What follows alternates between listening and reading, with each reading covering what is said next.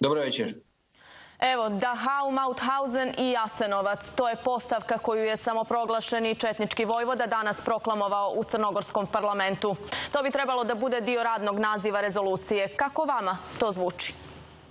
Pa zato što, prije svega moram reći da meni se čini da netko ko je pisao e, ovu rezoluciju, barem ono što sam ja vidio, da niti je baš obrazovan, niti je baš previše inteligentan a ja bih rekao da je ovom rezolucijom u stvari poniženo jako puno Srba, e, bez obzira što su možda namjere bile drugačije, a objasnit ću o čemu se radi.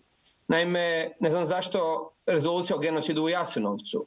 Dakle, u Jasenovcu je ubijen najmanji broj Srba. Zašto ne rezolucija o genocidu u nezavisnoj državi Hrvatskoj? Jer po ovome ispada da su samo Srbi koji su poubijeni u Jasenovcu žrtve genocida.